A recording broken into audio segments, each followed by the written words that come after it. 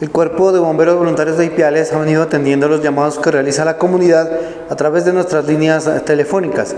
Es así que durante la semana anterior se recibió un total de 20 llamados, de los cuales 5 corresponden a accidentes de tránsito, 10 atenciones prehospitalarias, un caso de violencia civil, una fuga de gas, un incendio estructural y dos operativos para rescate de animales. Por estos casos se atendieron a 12 personas las cuales se les brindó los primeros auxilios y en los casos de lesiones de mayor complejidad se remitieron a los centros hospitalarios de nuestra ciudad.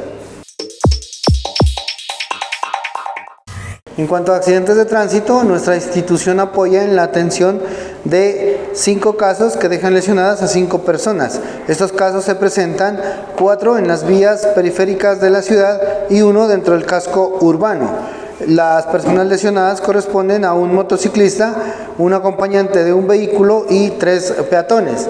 En este caso queremos recomendar a todos los conductores tener mucho cuidado, sobre todo en las vías rápidas como la Panamericana, las salidas hacia el corregimiento de las Lajas, San Luis, Rumichaca y la vía perimetral, ya que existen muchas personas que utilizan estas vías como peatones al retornar a sus viviendas y se han venido registrando estos accidentes en estas vías.